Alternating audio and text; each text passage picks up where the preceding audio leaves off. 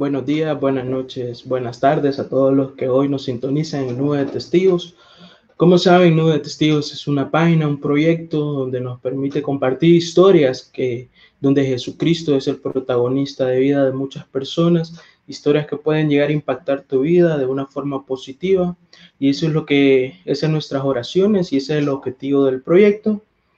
Y eh, hoy pues contamos con un invitado especial Realmente yo no lo conozco físicamente, pero sabemos que eh, cuando somos parte de Jesucristo, eh, todos eh, somos uno. y con ustedes, sin más preámbulos, pues le damos la bienvenida a mi hermano Juancho. Dios te bendiga. Buenas tardes, hermano. Dios te bendiga y un saludo a todos los hermanos que están con nosotros ahora mismo. ¿Qué tal? ¿Cómo, cómo, ¿Cómo ha estado todo en cuarentena por allá en Colombia? Bueno, hermano, ya estamos por ahí más o menos como 81, 82 días de cuarentena.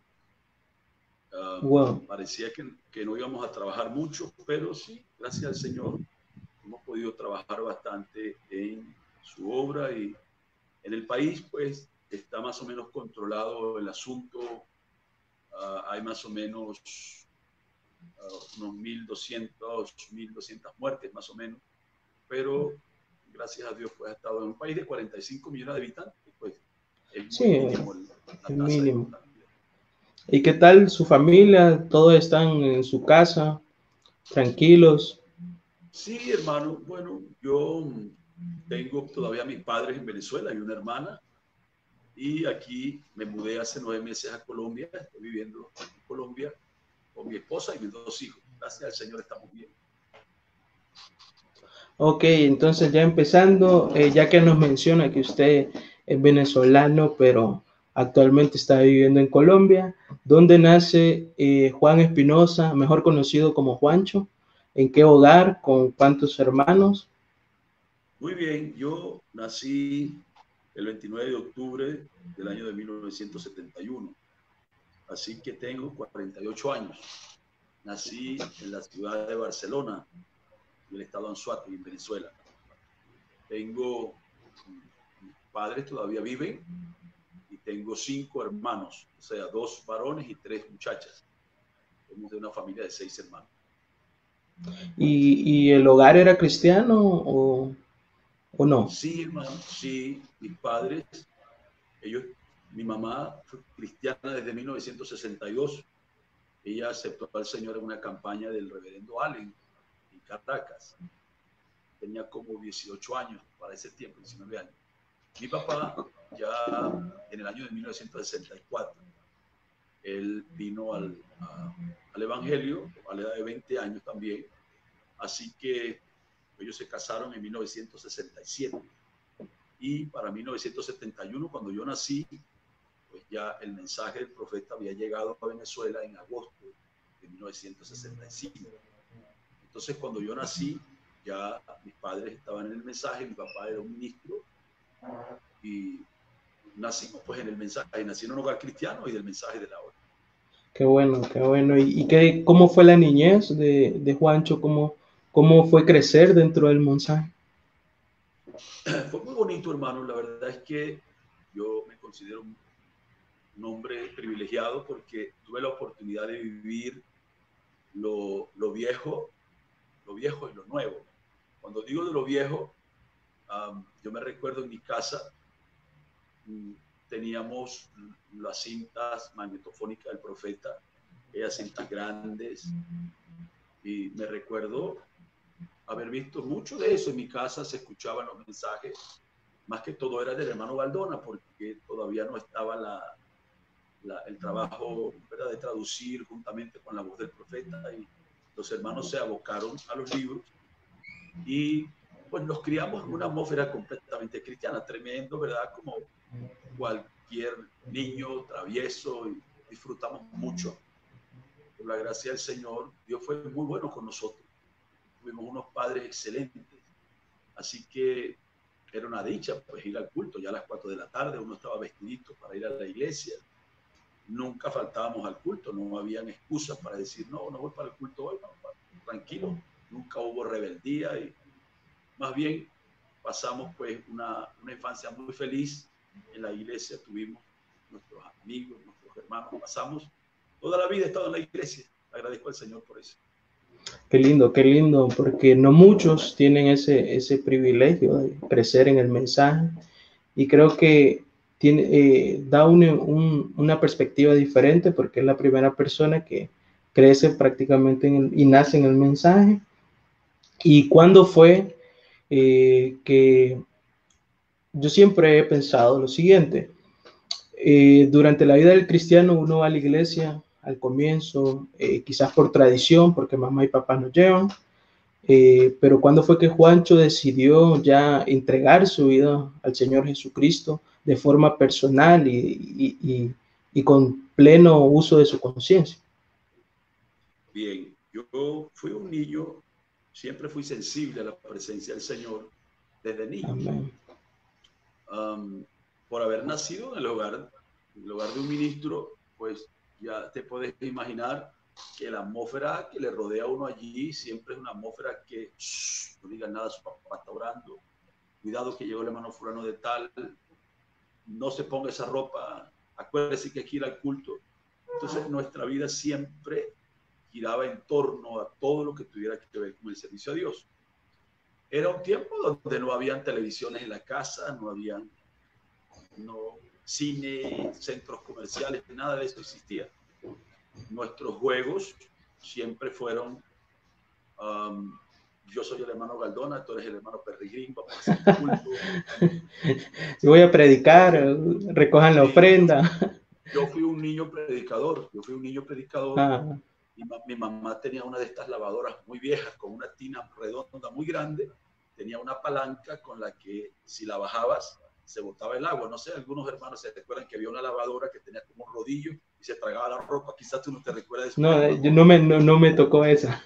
No, a mí sí me tocó. Entonces, esta lavadora tenía una palanca y, era como una, tenía como una cabeza. Y entonces yo la desenrollaba y esa era la, mi mamá estaba lavando y estaba predicando con el micrófono. Y predicando y ordene su casa y saque las barajas, saque la ropa inmunda. Y a veces no podía sacar, no podía sacar la, la, pelota esa, porque era como un micrófono. Cualquier cosa que se pareciera a un micrófono, yo decía, probando, probando, porque era algo que estaba en mí. Entonces mi mamá dice que a veces yo movía la palanca y, se botaba el agua y se botaba el detergente. Muchacho, ¿qué estás haciendo? Y luego, cuando comencé, donde quiera que yo llegaba, yo siempre estaba haciendo culto, siempre. Te digo, hermano, que en nuestra casa se escuchaban, se escuchaban, eran pura, pura cinta, pues, y, música de Ray Robles, de Gary Moore, de esa música que, oh, daba así como un poquito de miedo. Eh, se escuchaban los hermanos Alvarado, era más o menos la música que se oía. Entonces siempre estábamos rodeados por eso de hacer culto. Y yo siempre decía, y así para mis adentros, donde quiera que llegáramos, yo era un ministro, un niño de 5 años. ya, ya, ya se estaba proyectando.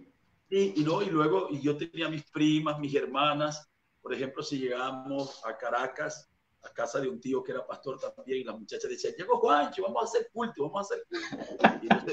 Rapidito, acomodaban ahí las sillas, y yo rápido me, tú sabes, me acomodaba para hacer mi culto y en ese tiempo estaba muy de moda el mensaje de advertencia antes del juicio. Yo me recuerdo claramente ese mensaje donde el, pero se llamaba ordena tu casa, era el, nombre que le, era advertencia antes del juicio, pero el contexto era ordena tu casa. ¿Te recuerdas el rey que el, el rey que el profeta vino y le digo, mira, te vas a morir, Jehová te manda a decir que tienes que ordenar tu casa. Entonces ellos predicaban, los hermanos predicaban eso y ordene su casa y saque la televisión, saque la revista sucia, saque la ropa inmunda, ordene su casa, ese era el mensaje. Entonces, eso es lo que yo escuchaba, pues. Y yo predicaba ese mensaje donde quiera que llegara, 8, 10, y buscaban otros muchachitos, y de repente las muchachas llegaban con una muñeca, con un gato, y decían, hermano Valdona, por favor, ore por nuestros muchachitos que te traigan a ese niño. Vamos, vamos a orar por esa criatura. Vamos, a hacer este gato cristiano. Sí, sí, yo me la pasaba reprendiendo los demonios de gato y de perro. Esa fue, por, por supuesto, jugamos pelota, jugamos béisbol, cualquier otra cosa que se atravesara también lo hacíamos porque éramos niños normales, pero pero siempre esa cosa, y, hubo algo que a mí me fascinó desde que yo era niño, y era que cuando hablaban en inglés y hablaban en español, eso para mí era una cosa asombrosa y de cuando en cuando venían a la iglesia de visita o el hermano Limbel o el hermano Perrigrín, alguno de estos hermanos, y entonces siempre venía el hermano Galdona. Así que cuando el hermano hablaba el de inglés, decía, el hermano decía, Dios le bendiga, decía, ¿qué cosa es este? Así que cuando nosotros nos íbamos en el carro esa noche para la casa o, el día siguiente salimos de viaje, eh, vamos a jugar culto entre el carro. Yo soy el hermano Galdona. Entonces mi hermano hablaba, el hermano dice, Dios le bendiga. era el traductor. sí, yo era el traductor. Y a los 28 años, a la edad de 29 años, yo pude traducir mi primer, mi primer hacer mi primera interpretación de alguien predicando en inglés, porque Dios me dio el, deseo que yo tenía desde que yo era muchachito, y era que yo quería hablar inglés. Así que em, por ese lado, pues transcurrió de una forma muy linda, muy demasiado bella, pues no, no tengo yo ningún recuerdo hacia amargo, que yo haya llorado en mi infancia porque me hicieron algo, un desprecio de mis padres, eh, un desamor de, de, mi mamá, algo. No, cada vez que nos, nos dieron una tunda, yo creo que siempre fue merecida, siempre hicimos algo que no debíamos, pero nunca hubo, no tengo yo en mi corazón, mi mamá tiene 78 años el día de hoy, mi papá tiene 76 años, y yo guardo por ellos el más puro de los, de los, de los amores y los recuerdos que yo tengo, a pesar de, de, como te digo, pues que ven acá que usted está haciendo esto. Eh, nunca hubo, no hubo maldad, no hubo maltrato, fue, fue algo muy bonito, muy, muy lindo. Creo que era, que era un amor con corrección y que creo que eh, es el amor que también el Señor nos muestra como Padre, claro, magnificado, ¿verdad? Eh, pero qué lindo, qué lindo eh, es, es como, como les decía, crecer en un lugar cristiano, porque creo que uno crece con una, con una pureza, sin, sin influencias de otros lados, eh, quizás sin conocer lo, más vil del mundo. Eh, a muchos hermanos no les toca crecer eh, así con un padre que, que, si regañaba era con amor. Y como, como, como tú lo dices, porque a veces no lo buscábamos. de, estando ya en iglesia, ¿cómo comienzas a perfilarte en los oficios, en trabajar en, en la iglesia, en servirle al Señor? Bien, Tú me preguntaste hace un momento, yo me puse a echarte cuento y, y no te respondí exactamente, porque mi papá estuvo ministrando en una iglesia desde 1969 hasta 1978. Eh, era pastor asociado de un lindo hermano que ya partió, él se llamaba Pablo Soto. Por cierto, él era muy amigo del hermano Emeterio Reyes, Amén. estos hermanos antiguos de los 70. Y um, en 1978 mi papá se separa de, de, la iglesia con el hermano Pablo y entonces estuvo un tiempo allí como sin saber pues si debía comenzar una iglesia o cómo debía ser. Así que para el año de 1980 yo tenía nueve años. Mi papá comenzó a predicar en el patio de una casa porque había unas personas que decían, hermano, vengan, prediquen. Entonces íbamos a la casa y yo tengo siempre que me recuerdo eso, me da mucha risa porque predicamos en el patio de la casa, o mi papá predicaba. Nos sentábamos sobre unos ladrillos porque era una casa muy pobre, mucho olor de orina y e, e, era muy sucio, muy feo. Y nosotros, tú sabes, bien acomodaditos y fuimos, eh, siempre íbamos a esa casa. Entonces, en la casa, aparte de eso, quedaba muy cerca del aeropuerto. Y cuando llegamos al culto, pues siempre se veían los aviones, siempre aviones iban, aviones venían. Y mi papá comenzaba a predicar. Yo tengo ese recuerdo muy claro, porque mi papá comenzaba a predicar y estaba predicando con ese énfasis tremendo y de repente pasaba un avión. mi, papá se quedaba, mi papá se quedaba así. no se le escuchaba nada. No se escuchaba nada. Pero una noche, él estaba predicando allí me acuerdo que estábamos, no estábamos en el patio de la casa, sino que estábamos en la, dentro de la sala. Yo no sé si fue que llovió, alguna cosa pasó, y de repente mi papá comenzó a predicar y estaba hablando acerca de Daniel Curry. Daniel Curry, el gran evangelista. Y qué cosa que, que era un evangelista, lo que el, oficio que Dios me daría después a mí. Y cuando él estaba diciendo, Daniel Curry, su nombre no está escrito aquí, ¿y qué esperanza tengo? Bueno, el juicio del trono blanco. Cuando él comenzó a hablar de Daniel Curry, hermano Cristian, de verdad que la cabeza yo sentí como que se me empezó a poner grande, grande, grande. Sí, yo era un niño de nueve años, yo no había robado, yo no había mentido, yo no había besado a una muchacha, yo nunca había hecho nada malo, nada, absolutamente nada. Pero a medida que él comenzó a hablar de eso, yo sentí como una convicción que algo en mi corazón de niño me dijo como que algo me estaba faltando. Y entonces, cuando él llegó al punto, Daniel Curry alguna vez ha robado, Daniel, ¡ah! yo me sentí que yo era que yo era Bin Laden, pues por decirlo de esta forma. Lo peor. sí, alguien de lo peor. Yo me sentía así, yo, yo sentí que la cabeza me crecía con una gran, no puedo explicarte, hermano, pero era una gran preocupación en mi mente. Estoy perdido porque yo, yo sentí que yo era Daniel Curry. Así que esa noche, cuando mi papá terminó de dar su testimonio de Daniel Curry, él dice, hay aquí alguna persona que quiere aceptar al Señor. Por supuesto, ellos habían borrachos, habían... Era un, barrio, pero el peor barrio que, que, que tú puedes decir en la ciudad donde tú vives y había gente que merecía pasar al frente y decir, mire, yo he sido un bandido, yo soy... Pero qué cosa que cuando él dijo así, yo me paré, yo dije, yo quiero aceptar al Señor. Me quedo mirando así como, bueno, de eso hacen 40 años. Yo, yo levanté mi mano esa noche y yo acepté al Señor en mi corazón. Luego eh, estuvimos como, como un año más allí en ese lugar y por supuesto, las iglesias siempre, la mayoría, hay más mujeres que hombres. Siempre. Por, Cada siete, por cada siete mujeres, un hermano, dos hermanos. Así que siempre era problemático, era alguien que dirigiera culto, alguien que tocara guitarra. Y, entonces mi papá estaba esforzándose y limpiaban la iglesia, la iglesia era en nuestra casa, eh, mi papá predicaba, tocaba el cuatrico venezolano, hacía muchas cosas. Y un hermano, tenía un hermano estaba enfermo de Parkinson, otro hermano le daba miedo subir al púlpito y otro hermano estaba divorciado, otro hermano tenía y no había. Pues. Y un día, pues mi papá dijo, mira Juancho, vas a tener que ayudar. Entonces me tocó, yo no voy a decir pararme detrás del púlpito porque no me paraba detrás del púlpito porque no me veía, el púlpito era muy grande. Yo quedaba, lo que hacía era que me paraba al lado del púlpito con mi cuatrito ahí venezolano, una guitarrita más pequeña, y yo comenzaba a cantar mis coritos ahí, ah, tío, Dios, levantaré mi alma. Y mi mamá y mis hermanitas, pues que también eran pequeñas, y dos, tres, cuatro hermanas, y éramos como 15 más o menos.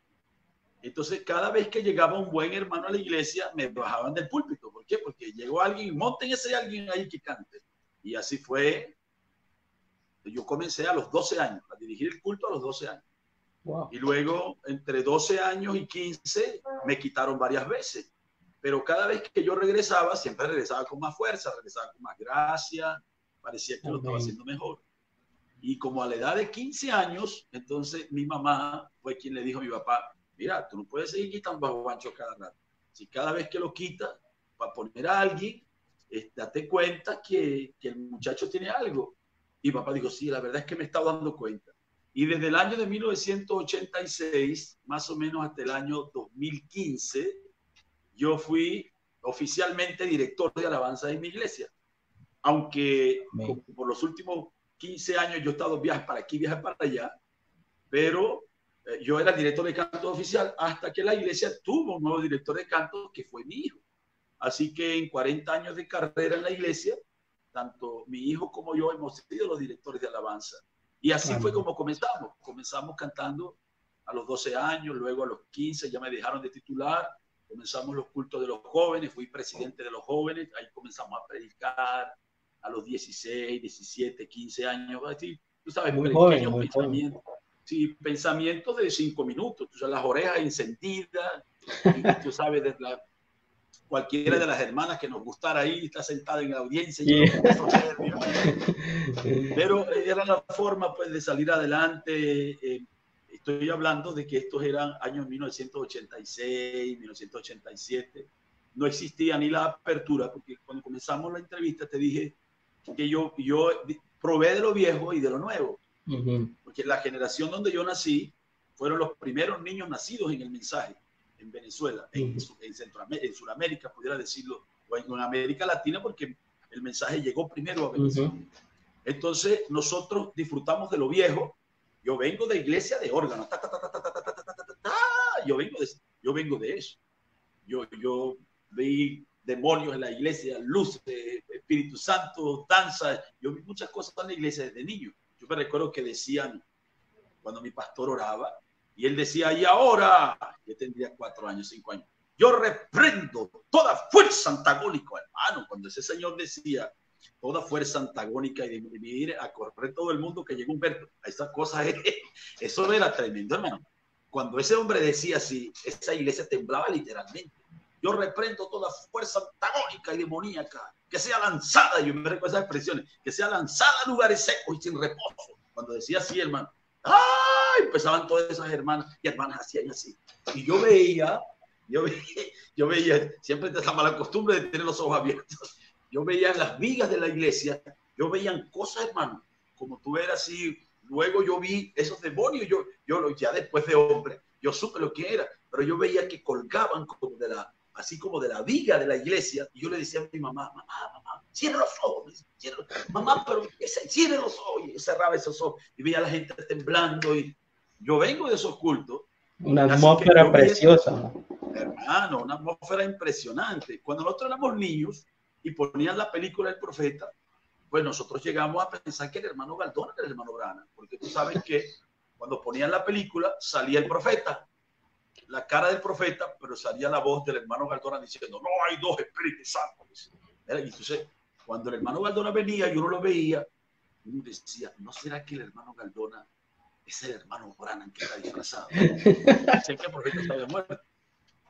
Entonces, eh, yo vengo de eso, hermano, vengo de, de esos cultos de, taca, taca, taca, de, de cultos tremendos y luego bueno, entramos en tecnología.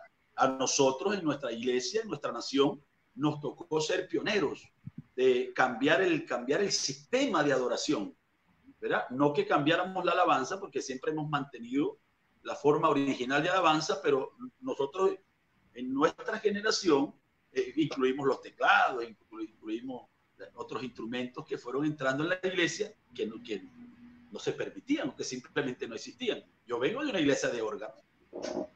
Así, así, fue nuestra, nuestro trabajo. ¿Y cómo fue tu adolescencia, eh, hubo eh, algún momento donde, eh, bueno, el enemigo es prácticamente donde más ataca, ya que el joven carece muchas veces de una identidad en Cristo Jesús. ¿Cómo fue tu experiencia personal? Mira, hermano, yo recuerdo cuando yo entré a la secundaria, creo que a todo muchacho le pasa. Todo muchacho le pasa que uno como que se reviste de una como que se empodera, así como que, como que uno sabe mucho, ¿ves? Yo no me acordaba de eso hasta que vi a los propios hijos míos cuando entraron a la secundaria, me acordé de lo que se sentía, que uno se empodera, dice, yo me la sé toda, papá y mamá no saben nada, así más o menos. Pero ese era un tiempo, yo siempre fui un muchacho muy popular. Yo si había que dar un discurso en la escuela, yo era el hombre para dar el discurso. Porque como ya venía trabajando en el púlpito, no, ya no tenía miedo de estar parado delante de la gente. Entonces yo llegué a ser muy popular, no era un estudiante estrella, pero tampoco era malo, así que más o menos podía ganarme la, la indulgencia de muchachas y de muchachos, y era popular. Y me recuerdo que una tarde, yo tenía como unos 12 o 13 años, la iglesia estaba en nuestra casa y venía yo llegando de la tarde con mi camisita del, del uniforme guindando aquí y una franelita blanca. Ya venía de, una hora de camino donde quedaba el liceo. Y era día de culto. Hoy. Bueno, era día de culto. Y entonces, como era nuestra casa, los hermanos llegaban a las 5 de la tarde y ya había gente en la casa. Así que uno llegaba y tenía que llegar por una esquinita y, sabes, en eso hay una hermana que ya partió con el Señor. Ella me estaba mirando eh, estaba sentada y me, me dijo, esta, ah, mi hermanito, me dijo, ella me decía, mi hermanito, mi hermanito, venga que voy a hablar con usted. Ay, señor, una hermana mayor, hablar con uno, ser una hermana de, una hermana de oración. Pues. ¿Qué, qué, qué, me va, ¿Qué me va a mostrar? Dice, ¿qué va a revelar? Ay, Dios mío. Ay, Señor, corre. Empieza, tú sabes, la escena de tu vida toda la escena comenzaba a pasar delante de ti, ay, ¿ahora qué va a pasar? Y entonces, mi hermanito, venga, que tuve un sueño con usted. Ay, Dios mío. Entonces me dice, mire, mi hermanito, yo tuve un sueño con usted. Y yo dirigí la alabanza, me dijo, el sueño que yo tuve es que usted sale todos los días para el liceo de su casa con una palomita blanca. sí, hermana, sí. Usted sale con una palomita blanca. Pero cada vez que usted llega al liceo, usted pone esa palomita blanca en una esquina y usted le permite a sus compañeros tirarle piedras a paloma. Oh. Hermano, eso fue peor que haber pasado la línea de oración del profeta y era usted se llama Juancho Espinosa en eh, Doloroso. Era Dios. Oye, era Dios, sí, porque la juntilla, pues, ahí te sabes, besándome con las muchachas por aquí. Ay, buenos días, buenas tardes. Tú sabes cómo se pone uno en esa, en esa etapa de secundaria, ¿verdad? que quiere dándose besos de mejilla con las muchachas y ser popular. Oye, eso fue una cosa, me pegó duro, me pegó duro y pasaron como, quizá pasó como una semana. Pasó una semana y yo tuve un sueño, ya fui yo directamente. Fue un sueño de Dios para mí y como a las 3 de la mañana yo me desperté y yo estaba arrodillado, llorando sobre mi cama. Me fui al cuarto de mi papá esa noche ahí. Era de madrugada, pues le toqué la puerta y le dije que yo necesitaba dedicarme al Señor definitivamente. Así que cuando llegó mi, mi adolescencia de 15, 16, 17, no, no tuve ni la necesidad ni el tiempo de voltear al otro lado o al mundo, porque la verdad es que estábamos tan inmersos en lo que estábamos haciendo para el Señor en la iglesia, que no teníamos tiempo. Así que cuando me di cuenta, tenía 18 años y entonces me enamoré de la que es mi esposa hoy. Así que, fue como el Señor guardándome, porque, claro, me gustaba una hermana, una vez me gustó una hermana, y dije, bueno, de repente me parecía que la amaba, me parecía. Pero como tú sabes, joven al fin, uno no conoce el amor, ¿ve? Entonces sientes una atracción por alguien y, y será, no será. Pero después me di cuenta que no, que el sentimiento que tenía no era tan fuerte, porque aunque yo conocí a mi esposa desde niña, yo la amaba a ella desde que éramos niños. A la edad de ocho años yo me enamoré de mi esposa. Porque nosotros, nos, crecieron juntos. Y mi papá, no, no crecimos juntos, pero su papá y mi papá predicaban juntos y eran muy amigos. Así que ellos venían de vacaciones a nuestra casa, nosotros íbamos de vacaciones a la de ellos. Ahí teníamos una historia, pues, y su papá era mi tío Luis. Y ellos le decían a mi papá, mi tío Juan. Así que era como una, una hermandad y una cosa, familia, no de sangre, pero era muy, muy bonito. Y luego pasaron como 10 años, me parece que papá y el papá y mi esposa tuvieron sus diferencias doctrinales, alguna cosa. Y sé que pasó un tiempo y no nos vimos. En ese tiempo yo vi a esa muchacha, me parecía que, me parecía que yo la quería a ella.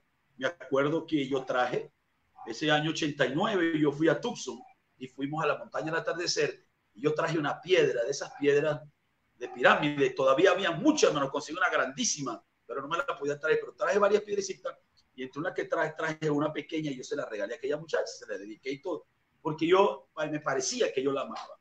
Pero luego tuvimos unos cultos especiales y yo volví a ver a mi esposa, ella tenía 18 años también. Cuando yo la vuelvo a ver, y yo, eh, aquella muchacha también estaba en los cultos, ella también estaba allí y yo pensaba que yo la amaba, pero cuando vi a una y vi a la otra, dijo, no, o sea, lo que, lo que se había despertado en mí no se parecía en nada a lo que yo sentía por ella. Así que yo salté del pecho de mamá al púlpito de la iglesia. Y del púlpito de la iglesia me enamoré de mi esposa. Y luego, claro, pasamos un tiempecito largo y a, los 24 años nos casamos. Ya vamos a tener 25 años ahorita en diciembre, por la gracia de Dios. Qué bonito, felicidades, porque es difícil mantener un matrimonio durante 25 años, sobre todo en esta sociedad que nos ha tocado, que eh, es bien sobrevalorado el matrimonio, eh, es, una, es un trabajo diario prácticamente. Eh, hay muchas preguntas eh, que me gustaría hacer, pero antes, eh, pues a la, a la, audiencia, a los que nos están viendo, me gustaría, hermano, si quiere, que nos cante un par de alabanzas y luego vamos a seguir con la entrevista. ah, muy bien, hermano, muy bien. Si le parece, hacemos ahorita bueno, el, el, micrófono es suyo, como desde pequeño el micrófono era suyo, yo no se lo quito. Bien, bien, bien, bien. Bueno, por aquí tengo mi guitarra. Hay algunos cantos que yo he compuesto. Yo nací prácticamente cantando, pero en principio compuse unos cantos y ya después me olvidé. Y luego volví, hace unos años, volví a componer varios cantos. Hay un cantito que yo compuse hace años y más o menos es conocido por los hermanos. Más o menos dice así. Me dicen que jamás se manufacturará, que es muy difícil de explicar. Esta etapa solo la podrá vivir ese pueblo elegido, llamado a la novia de Dios. Qué glorioso tiempo nos tocó vivir. La tercera etapa, el mismo Dios echó poder. Solo tienes que creer para así recibirlo como a ti, Oh, yo creo y sucedió. No es un mito ni una historia, es una realidad. Tampoco sensaciones, es poder dentro de ti. Cuando venga la apertura, ellos sabrán lo que es poder. Crearemos nuevos mundos, la palabra seremos tú y yo. Qué glorioso tiempo nos tocó vivir. La tercera etapa, el mismo Dios echó poder. Solo tienes que creer para así recibirlo como a ti va. Yo creo y sucedió. Y la novia de Cristo creyendo en él, el rapto hará. Qué glorioso tiempo. Amén. Bueno, este es un canto que yo compuse en el mes de Qué lindo, Del año de 1993. Qué glorioso tiempo nos tocó vivir. Ahora, ahora ya le puedo poner una cara a ese canto, porque aquí en ah. Honduras lo, lo, cantamos. Qué bonito. No, sí, no, no sé si, si quieres tocar otra alabanza y luego volvemos. Sí, compuse una alabanza hace años sobre los carros de fuego. De repente la han escuchado. Está basada en una una experiencia que tuvimos con los carros de fuego en 1975.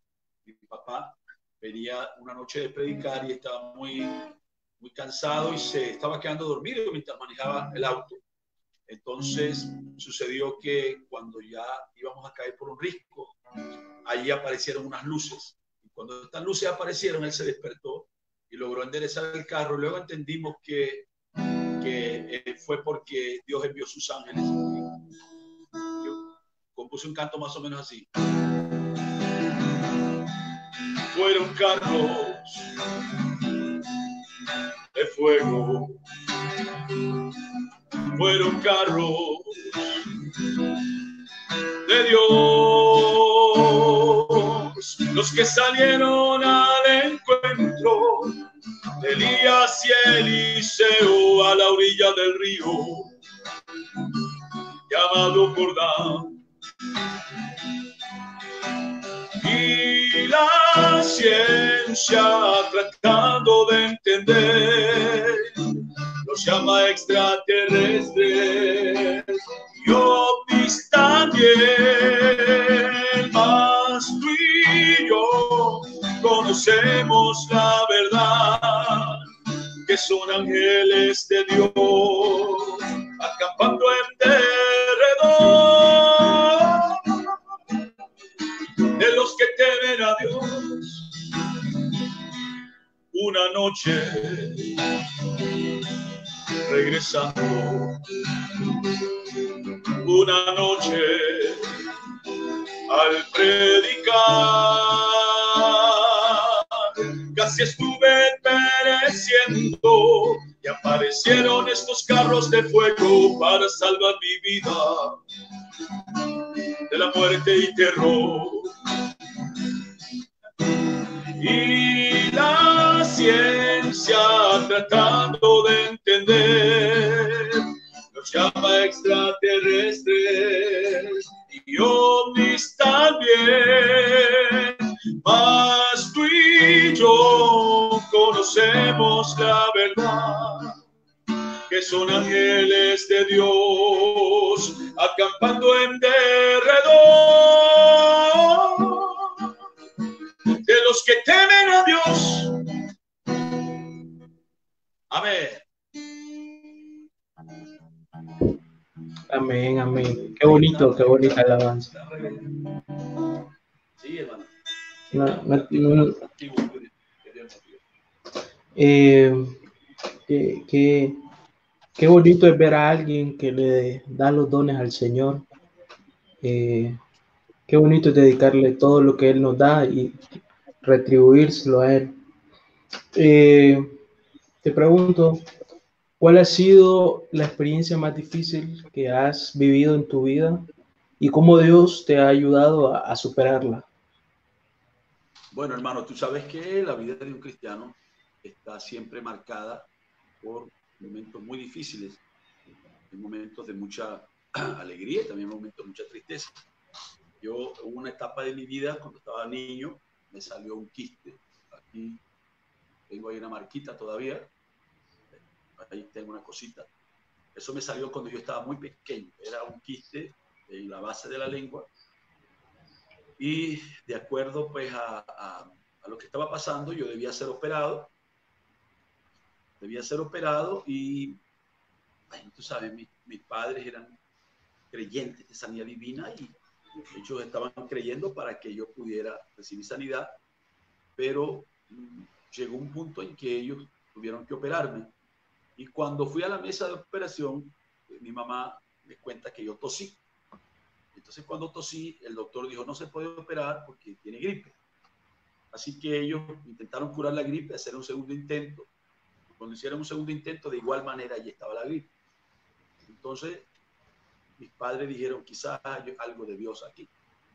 Entonces, ellos me mantuvieron, se me formaba, cuando yo hablaba duro, se me formaba una cosa grande aquí, como un bocio, así largo, se llenaba como de secreción y de sangre.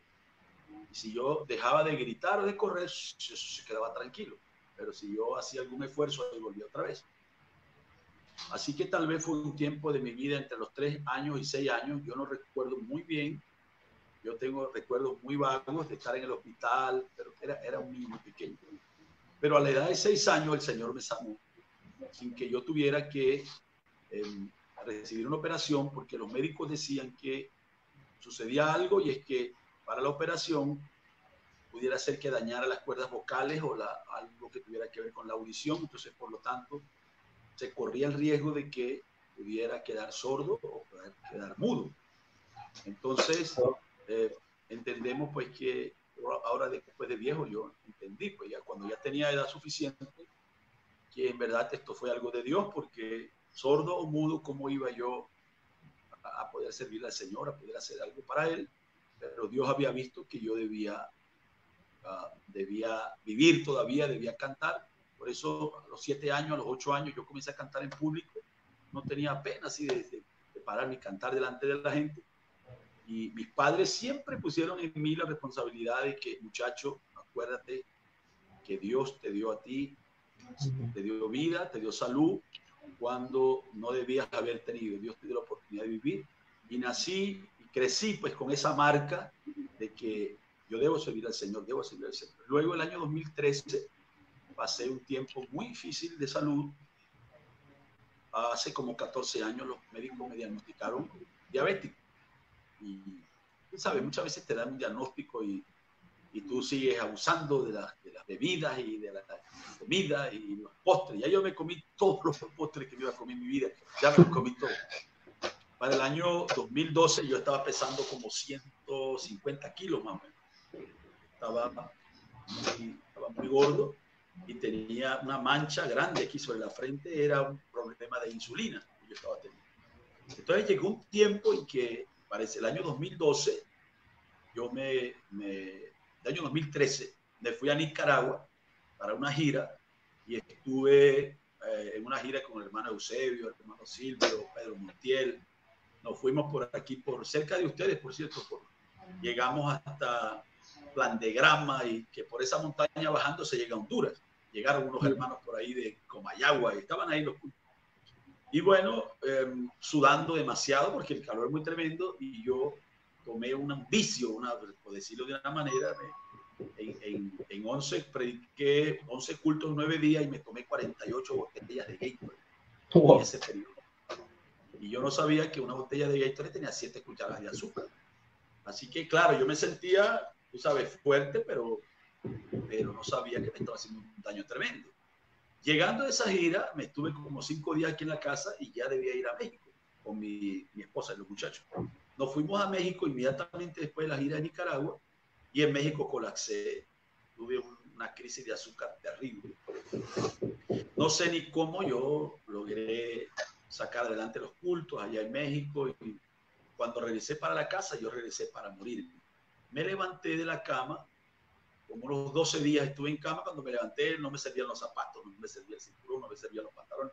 Ahora bajé un montón de peso, bajé mucho y luego tuve glaucoma porque el azúcar daña la vista. Así que comencé a quedar ciego. El año 2013, para, más o menos para el mes de junio y julio, yo perdí como 80% de la visión. Veía el bulto, pero, pero no podía leer. No podía de, de ambos ojos. Sí, ambos, ambos, porque fue algo que me atacó directamente. Entonces, no podía leer, así que me compré unos lentes más grandes de esos lentes que venden los, chinos en los, automercados. Y por lo menos más o menos, con eso veía, manejaba el carro, pero, pero sí, pero no podía ni escribir ni leer. Y entonces escuchaba más al profeta. El profeta comencé a tener como una relación más cercana con el mensaje, porque ahora estaba escuchando al profeta directamente sobre muchas cosas y entendí que el Espíritu Santo estaba requiriendo de mí algo, algo que yo debía hacer.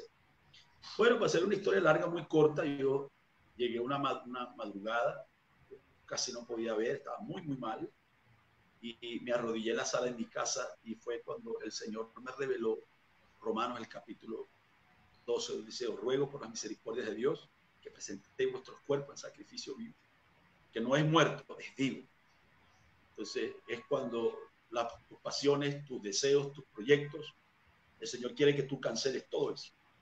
Preséntalo delante de mí. Para que así puedas comprobar cuán perfecta es la voluntad de Dios. Entonces yo comencé a decir, Señor, pero si yo un siervo tuyo, Señor, si yo te serví que era niño, Señor, si yo soy un predicador, Señor, si yo te he ayudado, si yo... ¿Quién dijo que no yo, uno pensando que uno ayudaba al Señor? El Señor siempre nos ayuda a nosotros. Amén pero llegó un momento en esa oración que yo dije, Señor, está bien. Si usted quiere que yo quede ciego, que yo no vaya más a ninguna parte, que yo no haga nada, entonces yo lo voy a aceptar. No hay problema, yo acepto. Porque no se trata de, de lo que nosotros pensamos, sino cuál es la voluntad de Dios para nosotros. Si yo tengo que quedarme tranquilo en la casa, Señor, yo lo voy a hacer y hasta aquí llegue.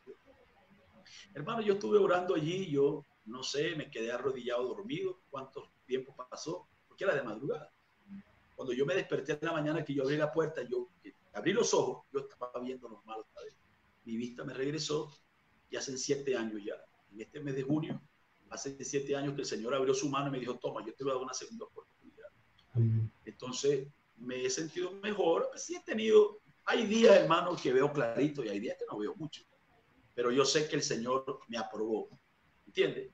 Porque no se trata de que, todo es perfecto, no, no. Tú sabes que tú tienes la aprobación de Dios sobre tu vida y, vas a poder avanzar, a pesar de los síntomas, a pesar de cómo te sientas a veces. Y luego en este enero pasado me fui a Argentina. Yo salí de viaje en septiembre, octubre, noviembre, diciembre y en enero fui a Argentina y Paraguay. Y estando en Paraguay había como 50 grados de calor. Y volví a tener una crisis. Volví a tener una crisis y allí sí, en la gira, bajé como 12 kilos de peso. Cuando llegué a la casa, otra vez llegué inservible. Le doy gracias a Dios por la pandemia porque yo debía haber salido de viaje inmediatamente después y tengo tres meses. Yo llegué a la casa el 2 de febrero, ya hoy es 7 de junio, no he vuelto a salir en cuatro meses, cosa que no me ha pasado en muchos años. yo desde que nació mi última hija, más o menos 2006, 2007, yo he estado viajando ininterrumpidamente. Hay años que he viajado 14 veces, 12 países, 13 países. Eso representa estar fuera de la casa casi todo el año. Pero este año, pues, este, año, eh, cuando volví de, que volví de la gira, y sentí que Dios me, me puso a descansar aquí. Yo hace nueve meses que yo estoy viviendo en Colombia, ya no estoy allá en Venezuela, me vine aquí y entonces dije, Señor, me trajiste a Colombia porque yo debía seguir viajando, debía seguir. Y luego sucede esto de la pandemia, es entonces cuando se, se abre esta cosa de predicar en las redes sociales, porque yo nunca había predicado en las redes sociales, porque yo no estoy de acuerdo con las redes sociales. No estoy diciendo que sean malas, sino que una cosa, yo siempre me manifesté ácido con las redes sociales. ¿Por qué? Porque yo no podía entender cómo es que, por ejemplo, si el hermano Melquisede Casco tiene una iglesia en Honduras y hay creyentes allí, ¿cómo voy yo a abrir una página de internet en Venezuela y decir, sálganse de la iglesia del hermano y vengan a escucharme a mí por internet? No, la gente tiene que asistir a la iglesia. Entonces yo vi muchos lobos rapaces utilizando las redes sociales. ¿Para qué? Para dividir las iglesias, porque allá en el principio Pablo dijo, estos son los que entran en las casas y se llevan, se llevan cargadas, se llevan a las muercillas cargadas de pecado. Y en aquel tiempo entraban a las casas porque las iglesias quedaban en las casas. Pero hoy otra vez están entrando en las casas. ¿Y cómo? A través de las redes sociales. Dividen las iglesias y dañan los ministerios. Pero entonces, luego el Señor me hizo sentir que ya no había iglesias. Las iglesias no están funcionando, guacho. Hay que hacer algo. Tú eres un evangelista. Tú tienes que seguir predicando. ¿Y ahora qué voy a hacer? Entonces, y no te creas, gente que, que me conoce me ha caído encima. Mira, me recuerda. Mira, que, lo único que, que, me consuela es que el diablo que siempre está acordándole a uno de sus errores. No, pero el, el, principio que yo tenía era un principio, era un principio sano. Hermano, yo, yo he predicado en veintipico de países en este continente, yo he visto la maldad de Satanás en las iglesias. Entonces he visto este tipo de hombres malos que hacen. ¿Por qué hacen eso? Si el hermano está luchando ahí alegremente predicando el evangelio en una esquina, ¿por qué tiene otro que venir a hacerle daño a él? No hagan eso. No, no gasten sus megas escuchándole, escuchen a su pastor. Yo siempre dije eso. Y ahora cuando predico por internet, le digo a los hermanos, miren, si ustedes tienen una página de internet donde su pastor te predica, váyanse para allá. Háganme el favor y a mí no me estén bien. Váyanse para allá. Amén, amén. Qué, qué, qué, bonito como Dios nos va mostrando poco a poco, ¿verdad? y es un proceso. Creo que eh, las redes sociales, pues estamos tomando lo bueno de ese árbol de, de, la ciencia y estamos llegando a muchas personas. Yo nunca pensé tampoco eh, conocer a alguien eh, en Colombia que esté residiendo allá, ni, ni, ni, guardar comunicación con muchos de mis hermanos que debido a la pandemia no, no podemos vernos físicamente. Pues. Em, una, una pregunta ¿Cómo fue el trasladarse de Venezuela a Colombia? Fue eh, un cambio difícil y a nivel espiritual también. Claro, hermano. Fue un gran cambio para mí, y no solamente para mí, sino para mi familia. Porque, como te digo, yo nací en la iglesia. Siempre digo esto, yo fui un muchachito en la iglesia, fui un jovencito en la iglesia, fui un galán en la iglesia y, y hasta un galón en la iglesia también. Toda mi vida la he pasado en la iglesia. Entonces, tener que venirme a Colombia y decir ahora, ¿a dónde me voy a congregar? ¿Qué voy a hacer? Y comencé más de un año, más de un año esta cosa dando vuelta en mi cabeza, ¿qué debo hacer? ¿Qué debo hacer? ¿Qué debo hacer? Señor, ¿qué debo hacer? Entonces llegó un punto, me estuve en la casa, junio, julio, agosto del año pasado, se puso muy difícil para viajar. Y ya llegó un punto en que yo debía tomar una decisión. Yo he estado por años, mientras viajo, y recibo la bendición de Dios a través de los hermanos. Siempre he compartido con mi gente la bendición, siempre llegar a la iglesia. Pero llegó un punto en que ya yo estaba dejando de ayudar y estaba comenzando a convertirme en un Después de ser una esperanza para la gente, de ser una ayuda para la gente, ahora tú mismo te sientes limitado y dices, oh, no puedo hacer como, como estoy haciendo, porque el país, dentro de Venezuela, imagínate, en Venezuela tenemos una inflación en dólares, es una cosa impresionante. Venezuela esta botella puede costar hoy unos 50 y mañana va a costar 2. Y luego en la tarde va a costar los 50. Y hay inflación en dólares, es una cosa que es inexplicable. Entonces cualquier bendición que recibimos se, se nos hacía sal y agua en las manos. Entonces le pusimos al Señor varias señales en el camino y en verdad el Señor nos respaldó en una cosa y en otra. Y hemos pasado aquí, estamos para 270 días en este país. Y en verdad, yo creo, por la gracia de Dios, que ha sido un gran paso. Porque creo que como familia hemos crecido, creo que nuestro matrimonio ha crecido, creo que el ministerio ha crecido.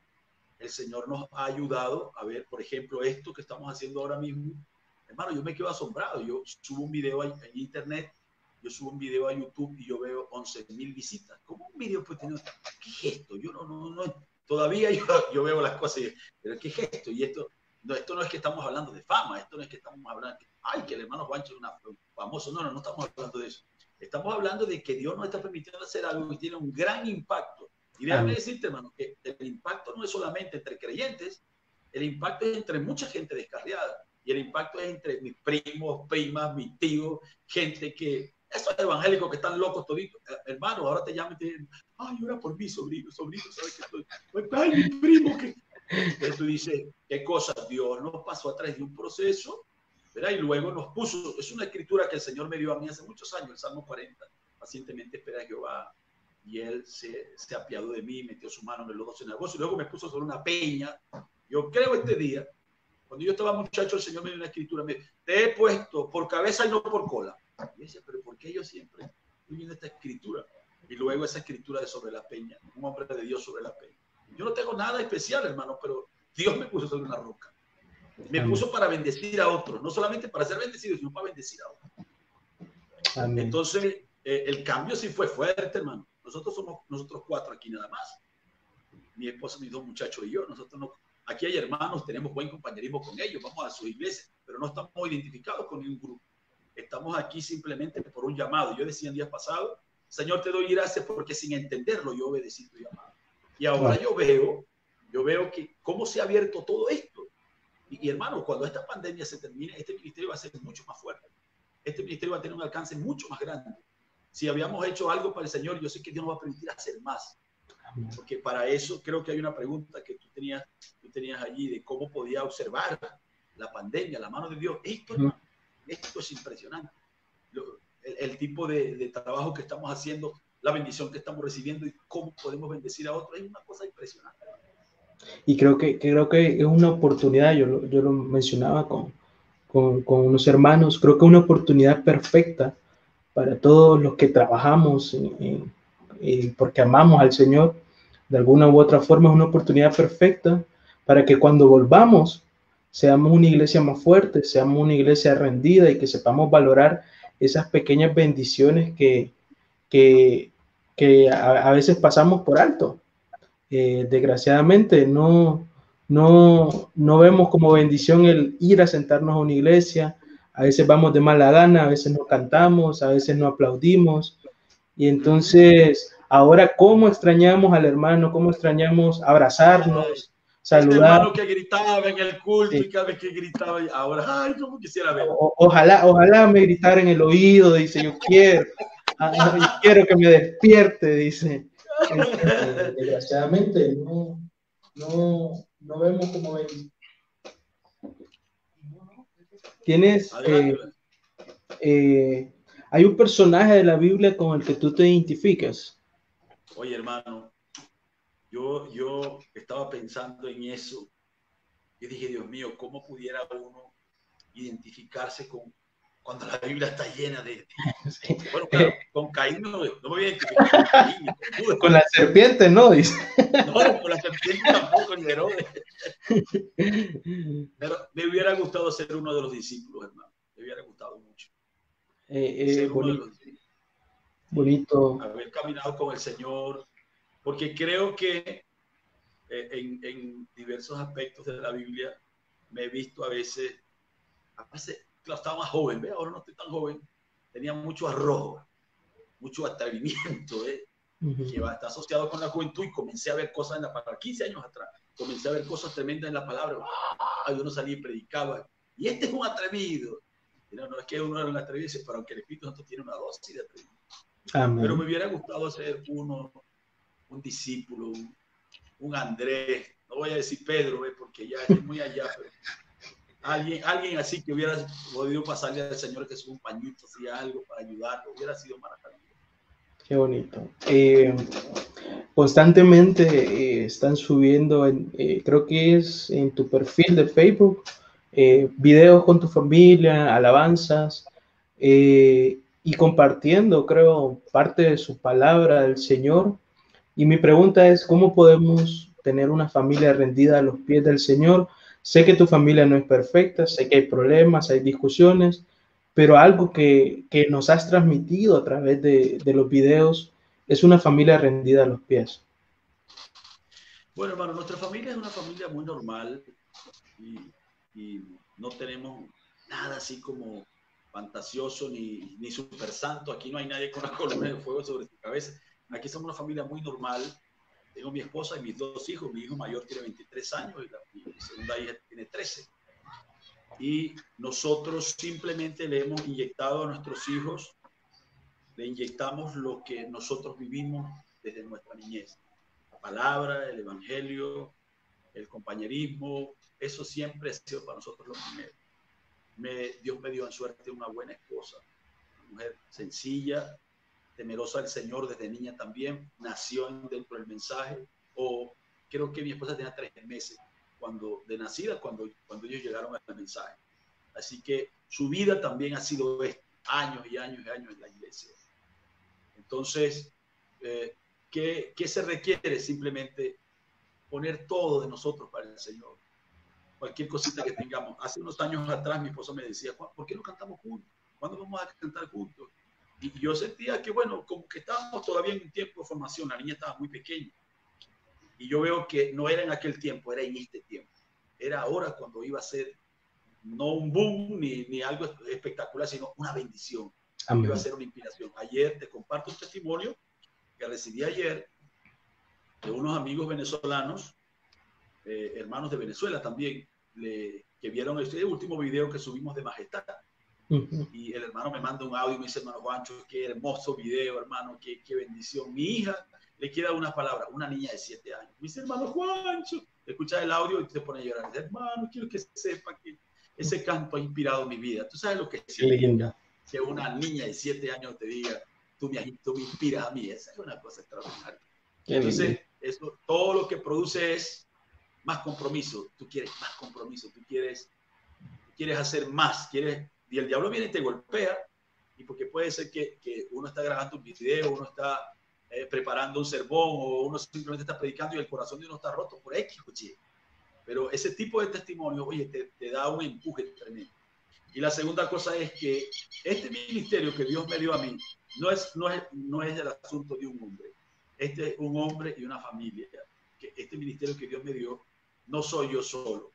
Es mi esposa y mis hijos en este ministerio. Cuando yo salía, eh, que no había estas restricciones, ¿quién se quedó con mis hijos todo el tiempo? Mi esposa que se quedó aquí. Ella fue quien batalló con ellos, quien luchó con ellos. Yo no estuve aquí cuando hubo exámenes, cuando hubo desarrollo, cuando, cuando cientos de cosas sucedieron, yo no estuve en el hogar. Pero si Dios no me hubiera dado una esposa así correcta, buena, ¿cómo hubiera podido echar adelante un ministerio? Y luego todavía Dios es tan bueno que nos regala dones bonitos, ¿verdad? Nacen nuestros hijos y ellos también pueden cantar para el Señor. Amén. Entonces, no hemos tratado de hacer nada especial. El hermano dijo, tú tienes que esforzarse en ser un padre raro. Nosotros simplemente hemos aplicado la fórmula con la que nos criaron a nosotros. amar al Señor sobre todas las cosas, vamos a, bendecir al Señor, vamos a tratar de sacar de nuestra casa todo espíritu de guerra. Y este es un tiempo en que no nos hemos congregado mucho, porque estamos, nosotros cruzamos la frontera. Tengo un cuñado que es pastor aquí en Venezuela, porque yo vivo a 10 minutos de Venezuela, del lado colombiano, pero muy cerca.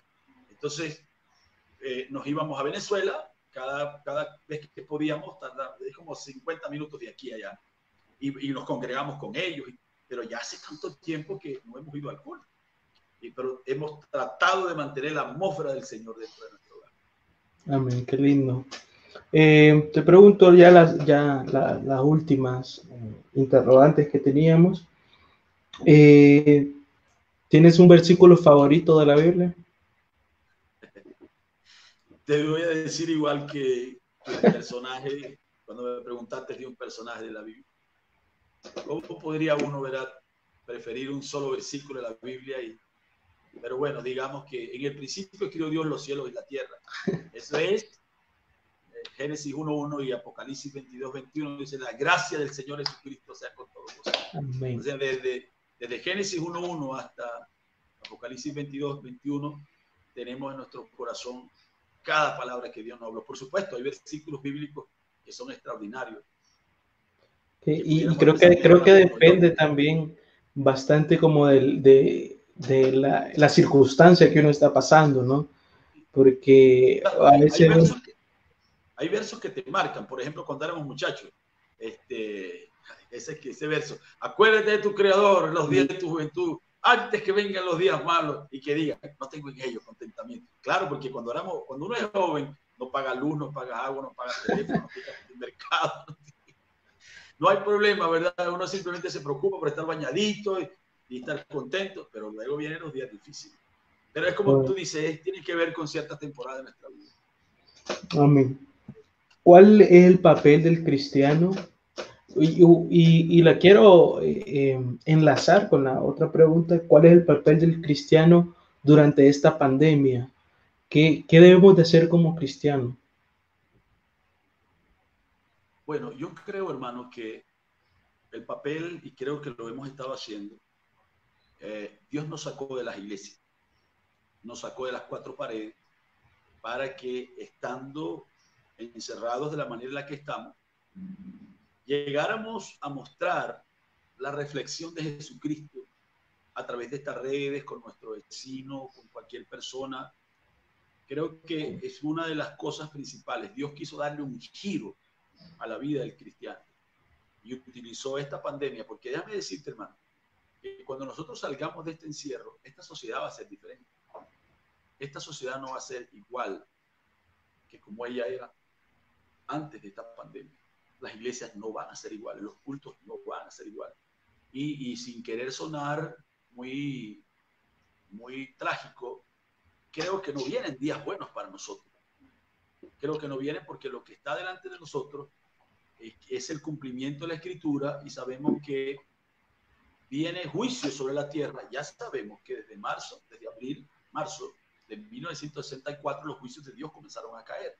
El hermano tiró la piedra allá y dijo juicio sobre la costa occidental y Alaska casi se hundió a los dos días. Desde entonces los juicios de Dios han estado cayendo. Por supuesto, no, no ha sido la gran tribulación, el gran terremoto que se está esperando, pero vemos, el mundo está siendo juzgado. El hermano Branham miró para 1977, él dijo que ya no debía existir nada y la gente dijo, ay, se equivocó. El hermano Branham dijo, mire, yo hice esa predicción por la velocidad en la cual yo vi que las cosas pasaron delante de mí. ¿Por qué? Porque un montón de eventos. Luego tuviste que el profeta miró la, la, séptima visión en la tierra de América llena de cráteres.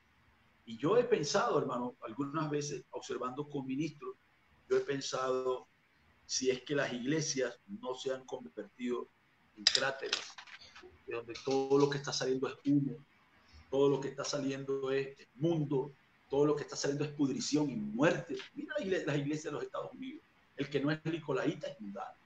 El que no está en el extremo del, el extremo del liberalismo, está en el extremo de, de someter a la gente y, viven como les da la gana.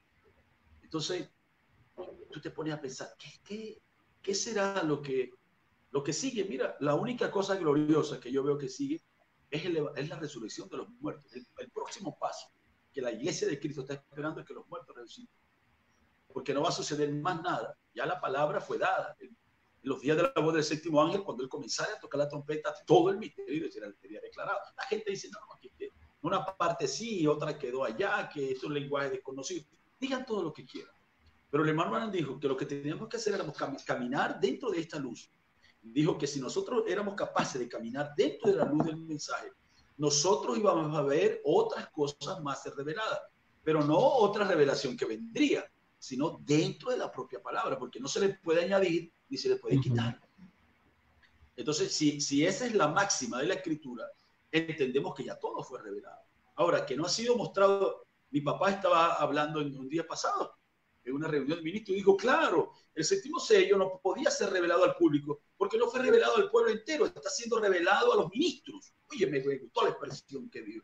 Por supuesto, porque no sería revelado al público como cuando usted se llama fulano de tal y porque el Espíritu Santo nunca va a tomar su palabra que tanto le costó a él y luego soltarla para que todo el mundo la sepa. No, Dios es una manera para revelar. Entonces, nuestro papel, el espíritu y la esposa, dicen ve. El espíritu que estaba en el profeta, que es el espíritu de Cristo. Esta mañana yo estaba predicando y estaba tomando la escritura de Apocalipsis 2, donde dice, el que tiene la espada aguda de dos filos dice esto. Entonces, ¿quién estaba hablando? Eh, no, era William Branham, ni Pablo, ni Nino, ni Colombo, no, no, no. El Espíritu de Cristo el que estaba hablando. El Espíritu, de, el que tenga oído, dice la Escritura, oiga lo que el Espíritu dice a la iglesia. Entonces, el Espíritu que estuvo en el mensajero, nosotros lo hemos recibido.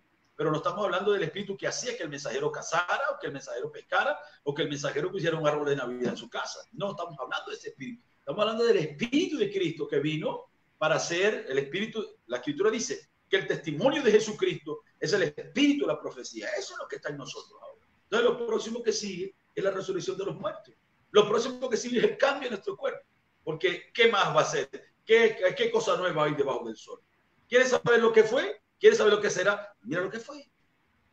El, el cuadro está completo, hermano. Solo que nosotros, y siempre digo esto como Pareciera que es una alegoría, pareciera que simplemente es una analogía, pero es una realidad. Nosotros estamos en este tiempo en la etapa de revisión que estaba la mujer que se le perdió la dragma. Ella comenzó a revisarse. Ella comenzó a revisarse y es lo que le falta a la iglesia. Pedro dijo, exhorto vuestro limpio entendimiento para que tengáis memoria de las cosas que ya habéis oído. No son las cosas que vamos a escuchar, porque sabemos que la novia del Señor Jesucristo ya no va a ser sorprendida por una verdad nueva. Ella va a ser sorprendida o impactada por, por darse cuenta de una verdad que ella pasó por ahí. Entonces, la señora que el hombre, el marido, que es Cristo, la dejó a ella con las 10 dracmas. Y en el transcurso de irse y regresar, a ella se le extravió una dracma y ella se revisó y se dio cuenta, yo no fui a la iglesia bautista, yo no fui a los pentecostales, yo no fui aquí, yo no salí de la casa, está extraviada dentro de la casa. Entonces, por lo tanto, hay que encender la luz. Por lo tanto, hay que barrer la casa, hay que mover las cosas. Yo creo que la novia está en ese espíritu ahora, clamando porque ya sabe que su marido viene. Y si el marido llega y la consigue sin que eso falte, ¿qué es lo que sigue? Lloro y crujir de dientes. ¿Ves? Porque eso fue lo que la Fato, la Fato no tenía eso. Pero esta señora, antes de que él llegara, ella encontró lo que se le había extraviado a ella. Entonces, nuestro papel, usted escucha a la gente reprendiendo pandemia, que se vaya esta pandemia. Yo le doy gracias a Dios por esto, hermano hemos entrado en una etapa tan especial por causa de esta pandemia, que si te soy sincero, si llegáramos a volver a las iglesias, a tener culto como antes, yo iba a extrañar este tipo de cosas. Porque esto ha tenido un gran efecto. Esto, este cara a cara que estamos haciendo. ¿Y cuánta gente? Porque antes yo iba, yo viajaba, llegaba a Nicaragua, predicaba donde el hermano Nicasio, predicaba donde Chevo, predicaba con Silvio, predicaba con el hermano Montiel, pero ahora no. Ahora no, ahora simplemente nos sentamos aquí y tú y yo podemos hablar y 10.000 personas pueden ver esto. Y el espacio de una semana, dos semanas, muchos hermanos, hermanos, mira, me están escribiendo gente de, de Filipinas, gente de África, gente de Canadá, gente de todas partes, gente que uno ni conoce. Hermano, ¿sabe que fuimos impactados, hermano? Prediqué un mensajito, tengo un canal de YouTube que se llama Evangelismo para el Rap. Y ahí en ese canal yo estoy subiendo pensamientos de la palabra que yo predico en, en el Facebook y, prediqué un temita llamado La Segunda Oportunidad. Así sin notas, hermano, simplemente bajo una escritura y comencé a abrirlo. Y son cantidades de personas que me han escrito y hermano, el tema cuando habló de la segunda oportunidad me ha ayudado, me ha hecho una persona diferente en esta pandemia. Así que si hay, si hay un papel, es este papel. Y es una etapa de revisión, ¿verdad? Y de demostración de lo que Dios está haciendo en nosotros. Y creo que es tiempo de aferrarnos, y hoy en la mañana lo decía en, el culto de la iglesia, aferrarnos a la palabra y como tú lo dices, examinarnos si en verdad estamos listos o no. Y si no estamos listos, pues apresurar a dejar lo que, lo, que no tenemos que llevar y si nos hace falta, pues buscar y, clamar para que el Señor eh, en su eterno amor eh, nos lo conceda. Em, pues ya vamos a ir terminando. Desgraciadamente el tiempo, el tiempo corre cuando uno la está pasando bien y, y, siempre eh, me sorprendo porque una hora no es nada. La verdad, si quieres, eh, pues puedes ir hablándole a tu familia eh, para que... Sí, ellos están aquí conmigo. Ah, perfecto. Tenemos que hacer un poquito de espacio. Nada más que okay. así como esta mañana. Ok, está bien, puede, puede ir haciéndolo, no, no, hay problema. Yo, eh, a los que nos están viendo, pues espero que les sea de bendición el testimonio del hermano y que de alguna u otra forma fortalezca su vida espiritual. Asimismo, también espero que eh, ustedes puedan demostrarle el compañerismo y el amor que tenemos eh, para con el hermano a través de los comentarios, eh, que ustedes puedan darle un Dios te bendiga, que es lo, lo mejor que podemos hacer como cristianos. Eh, hermano Juancho, si querés, eh, ve, ve, y presentando cada uno eh, sí, de bueno, no, sé, no, sé, si me alcanza ahí. Eh, ya, ya los dejo, ya los dejo solo ustedes en pantalla. Un momento nada más. Tú dices que hay, ¿cuál será? ¿Será el de tu mamá? No, porque yo no estoy. ¿Ah? Sí, bien. Uh, me voy a poner por aquí una esquinita. Ahí estoy. Esta que ven aquí, mi hija Daniel. Le bendiga. Aquí está mi esposa Adasa. Dios bendiga, hermano. Y aquí viene Mario también. Tiene un poquito de volumen ya. Vamos a cantar. Vamos a cantar Paz en el Valle. Dar un canto que sea una bendición. Dios te diga todo.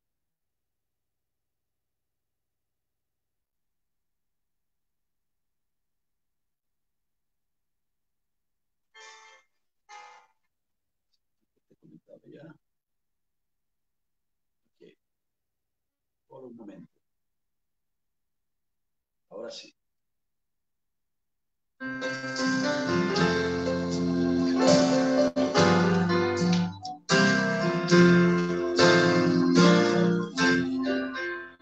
Pues cansado estoy, más tendré que seguir hasta que Cristo me llame al cielo. Sí, como allá resplandece y el cordero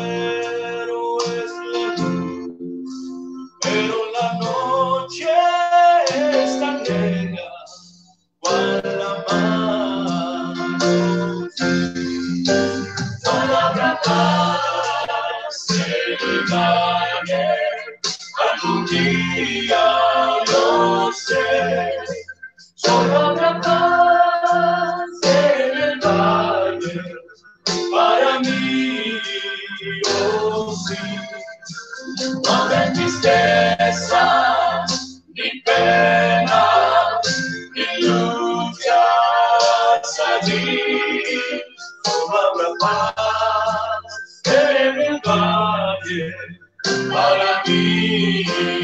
oh sí. Manso entonces celoso y el lobo también y el león con el cordero dormirán sí.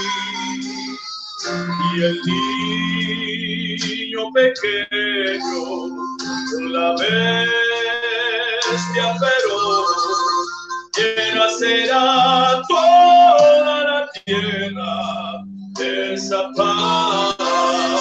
Oh, sí. Solo habrá paz en el valle, algún día lo sé.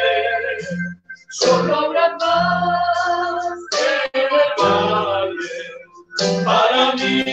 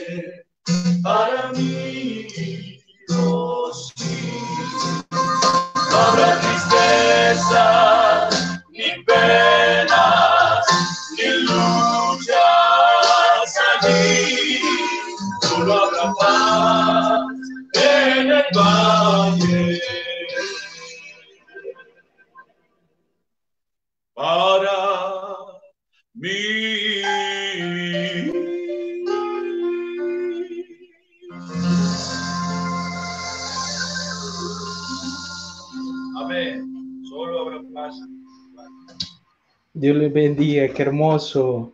Eh, el, eh, el, el, público, la audiencia pide otra. No sé si tienen otra preparada. Sí, podemos cantar otra. Son las que estamos esta semana. Vamos a comenzar con otros cantos nuevos. Uh, a ver, el, uno que siempre cantamos, de Victoria en Cristo, que veo que le gusta mucho a los hermanos. Ok.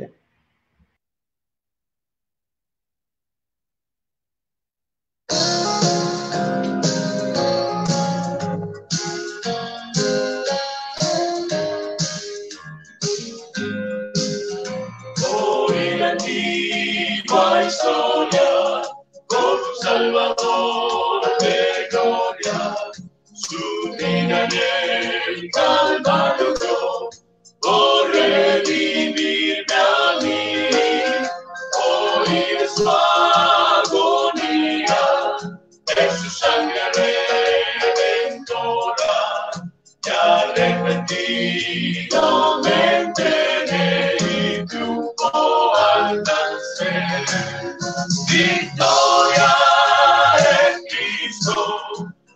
Salvador por siglo.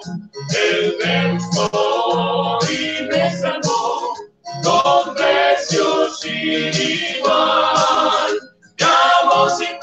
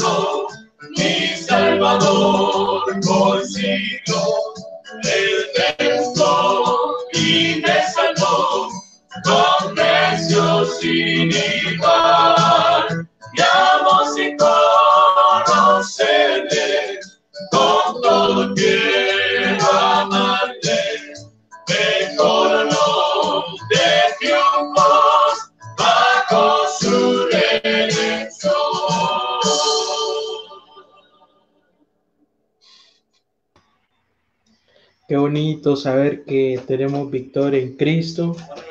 Eh, creo que es la única victoria que debemos de, de, obtener. Dios le bendiga, hermana Daza. Amén, mi hermano, Dios te bendiga, un placer. El placer es todo mío conocer esa, esa, esa niña que le robó el corazón al hermano Juancho desde muy pequeña y que ya 10 años después se manifestó. Amén, sí, sí. Así Eh. No, ella me, robó, ella me robó a mí. Ella me robó. Bueno, a- a- ahí, ahí siempre lo digo, la, la moneda tiene dos caras, entonces ahí depende de quién le pregunta. Lo que pasa es que hay una historia oficial y otra no oficial. Sí, sí, habría que ver a quién le preguntamos, pero que, que eh, son de bendición como familia y qué, qué bonito eh, ver una familia que adora al Señor con, con todas sus fuerzas, con, todo, con todos sus dones. Un saludo también para Marion, para Niel, que, que Hermano, Dios te bendiga. Dios te bendiga, Marion. Dios te bendiga, Daniel. Eh, les decía a sus padres un saludo para ustedes y felicitarlos porque le, le entregan constantemente los dones al Señor. Eh, vi por ahí que creo que Marion está grabando una canción o algo así. Entonces, enhorabuena, cuando la tengas lista nos la pasas o hacemos una entrevista ahí de joven a joven, eh, porque hay mucho que contarle al Señor y los felicito, la verdad, sigan adelante, que Dios me los bendiga. Eh, nosotros también a ustedes por este bonito programa y gracias por invitarnos. Ok, no, espero no sea la última. Eso es lo que espero. Que sea la primera de muchas. Sí, quizás ya después dejamos a los papás en, en el cuarto y nos enfocamos solo en los jóvenes. Nos apoderamos nosotros los jóvenes nada Sí, me, me, me, parece esa idea muy buena. Dios te bendiga, Dios les bendiga. hermano, Dios te bendiga. Muchísimas gracias. Vamos a cantar un último canto. Este es un canto que lo he llevado por todas partes. Lo compuse en diciembre de 2017. Okay. Y um, donde quiera que lo hemos cantado se, se pega. Vamos bueno, a si vamos, a ver, vamos a ver si se pega aquí en Honduras. Yo estoy seguro que sí. Ok, entonces no te salgas de ahí porque te quiero ver la cara cuando estemos cantando ese canto. Oh, si ok, ok.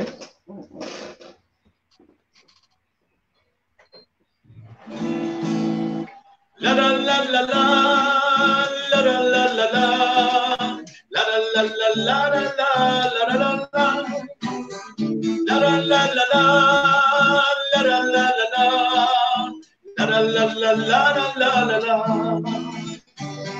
Ciego estaba yo, lejos de tu amor, extraviado de la gracia y del perdón como beca que fuera del redil, anhelaba un rumbo en el corazón, pero algo pasó y aconteció, fue el toque de una mano fiel que allí cambió la oscuridad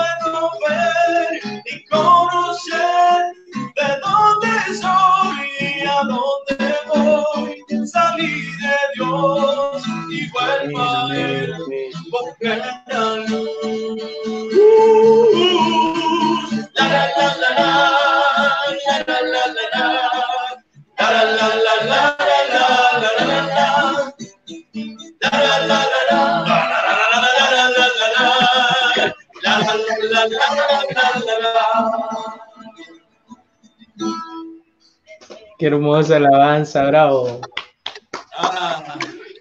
Qué hermosa, me encantó. Me encantó, me encantó. No, no, no, ya, se quedó en mi corazón.